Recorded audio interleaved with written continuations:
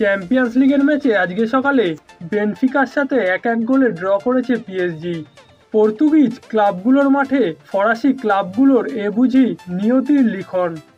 Champions league ও European cup মিলিয়ে এর আগে আঠেরো বার পর্তুগালে গিয়ে জিততে পারেনি ফরাসি ক্লাবগুলো। উনিশেও ঠিক আগের ধারায় বজায় রইল। পিএসজি সমর্থকরা সেজন্য ড্যানিলোকে কাঠগড়ায় তুলতেই পারেন।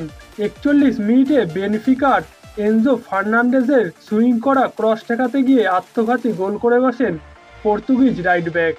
বেনফিকার সমতায় ফেরা এই গোলে শেষ পর্যন্ত পিএসজির আর জয় পাওয়া হয়নি। এক এক গোলের ড্রয়ে মেসি, নেইমার এমব্যাপেদের কাছ থেকে পয়েন্ট কেড়েছে পর্তুগিজ ক্লাবটি। কিন্তু লিওনেল মেসিকে ঠেকানো যায়নি। চ্যাম্পিয়ন্স লিগে এর আগে দুইবারের মুখোমুখিতে আর্জেন্টাইন তারকাকে গোলবঞ্চিত রেখেছে বেনিফিকা। আজ আর পারেনি তারা। মাত্র বাইশ মিনিট ঠেকিয়ে রাখার পর নেইমারের বানানো বল থেকে দারুণ গোল করেন লিওনেল মেসি। ডান প্রান্তে বল পেয়ে বক্সের মাথায় দাঁড়ানো কিলিয়ান এমব্যাপেকে পাস দেন মেসি।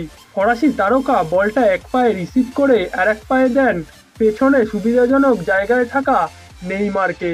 ততক্ষণে ডান দিক দিয়ে মেসি তীব্র গতিতে বক্সের মাথায়।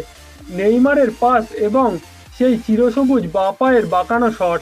বলটা সোজা গিয়ে সেকেন্ড পোস্টের কোণা দিয়ে জালে জড়ায়।